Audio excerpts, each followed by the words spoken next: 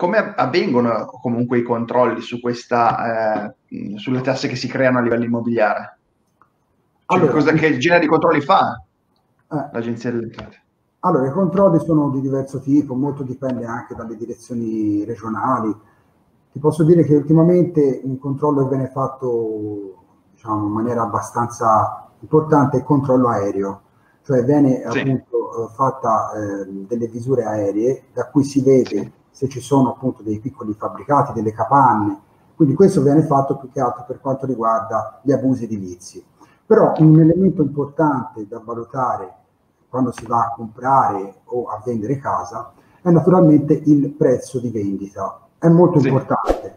Ci sono delle tabelle OMI, che sono delle tabelle di, sì. di, valori immobiliari che devono essere prese in considerazione perché tu sai, il mercato immobiliare negli ultimi anni ha avuto diciamo, un po' di calo di valore, quindi può succedere che magari eh, tante persone eh, possono andare a prendere un immobile che ha un valore magari catastale con una rendita anche datata, perché naturalmente sono rendite di, di anni fa, a un certo tipo di valore e poi in verità magari è tutto da ristrutturare oppure ci sono da fare interventi molto importanti quindi il valore con cui si va a comprare l'immobile è molto più basso. Ecco, in questo caso naturalmente l'Agenzia delle Entrate eh, quando si va a fare l'atto si paga le imposte di registro e quindi queste imposte di registro vanno direttamente, il controllo è automatico dall'Agenzia delle Entrate. Quindi bisogna stare molto attento su queste, su queste piccole cose qui. In questo caso è consigliabile avere una perizia giurata di un tecnico che dica che questo immobile ha effettivamente un valore di questo tipo. Cioè se io invece di un immobile che ha un valore magari fino a 10 anni fa di 200.000 euro, per una serie di motivi c'è da fare degli importanti interventi e, e lo vado a comprare a 120.000 euro, devo andare prima a vedere se come valori OMI rientro 120.000 euro è un valore che rientra all'interno del massimo minimo delle tabelle OMI.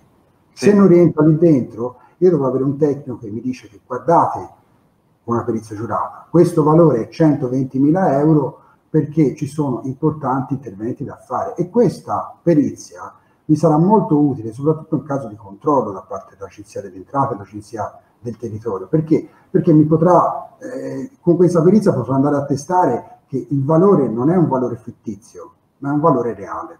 Quindi que- la, la, perizia deve avere data antecedente alla, poi alla data del rogito? O sì, deve...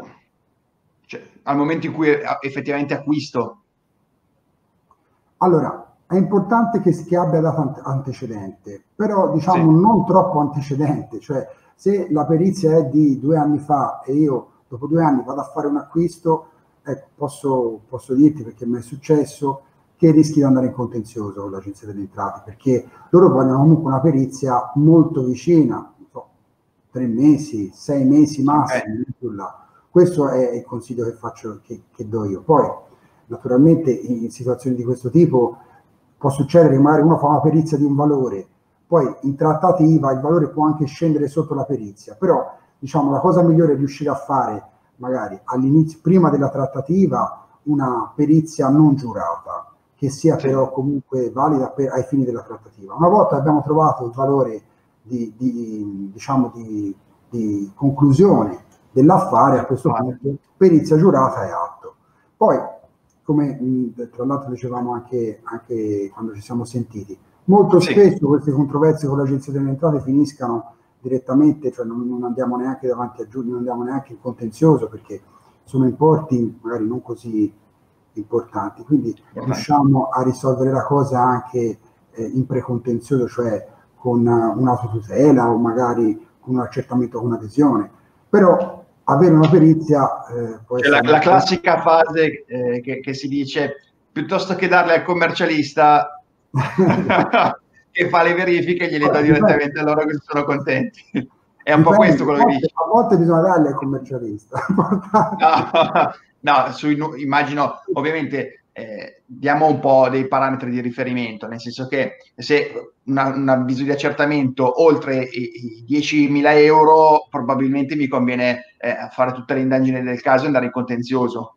Sì, sì, no, anche perché ti posso dire che se uno fa l'accertamento un'adesione, su, accertamento con un'adesione subito ha la riduzione di un terzo delle sanzioni, quindi già è un po' più, eh, uno si alleggerisce. Poi molto spesso i funzionari dell'Agenzia delle Entrate sono ben lieti di accogliere un accertamento, un'adesione.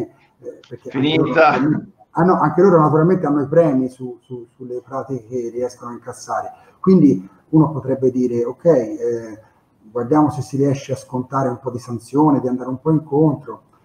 Conviene fare questo, naturalmente dipende dagli importi, se è un accertamento da 20, 30 mila euro, eh, allora...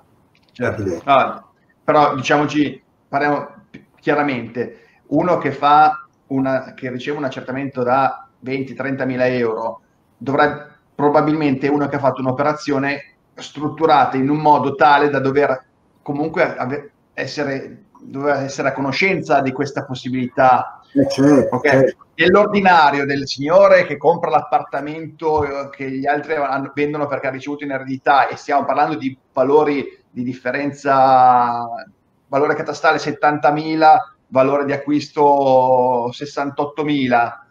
La, se esce un controllo, la sanzione di cosa stiamo parlando? Qualche certo. centinaio di euro? Certo, sì, sì, sì. sì eh, è, quel, è quello il ragionamento per cui molte volte si dice se vado a prendere tutta la documentazione e, e a fare tutto uno studio per, per combattere questa, che reputo ingiusta questa cosa, magari vinco anche, ma il costo di, de, della battaglia è, è, stato molto più alto rispetto a, alla sanzione. Insomma, questo è un po' il ragionamento, se sbaglio. Certo, sì, sì.